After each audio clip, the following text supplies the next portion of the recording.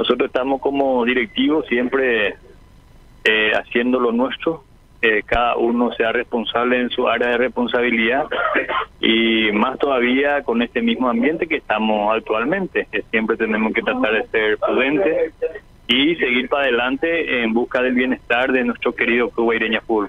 ¿Cómo está caminando con las divisiones interiores en este momento?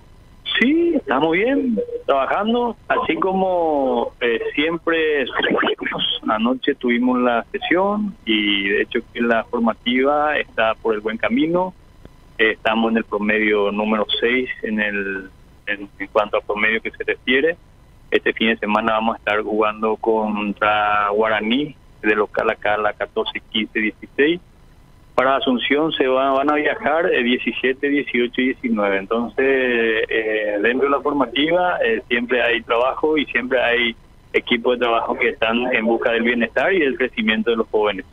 El dicho bíblico y de Dios dice el que es mucho más es manejable 10 toros salvajes que 10 hombres, ¿verdad?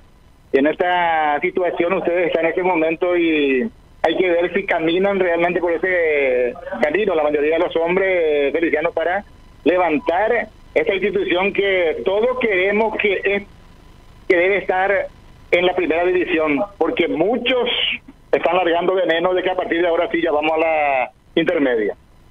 No, Marcial, tenemos que tener mentalidad positiva. Si nosotros tenemos una mentalidad retrógrada, una mentalidad eh, de coartar, eh, nosotros no vamos a poder crecer.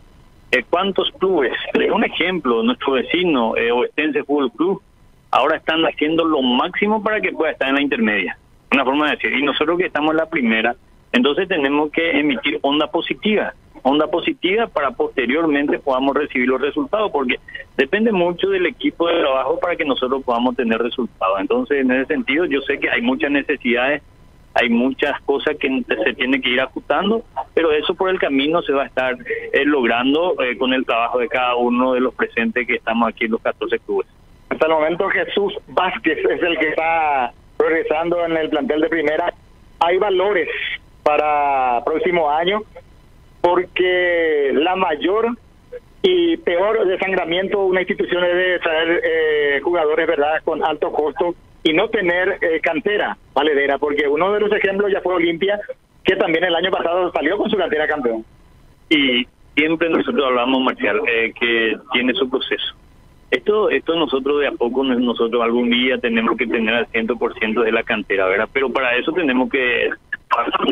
Jesús están eh, haciendo o ocupando ese espacio de la categoría 2005, lo cual que la APF impuso, ¿verdad? Entonces, en ese sentido yo creo que eh, Guaireña tiene su cantera, entonces yo creo que de a poco vamos a seguir sumando y algún día para que nosotros podamos tener, si no es 100%, unos 70% que sea de la cantera, pero eso tiene su proceso, Martín.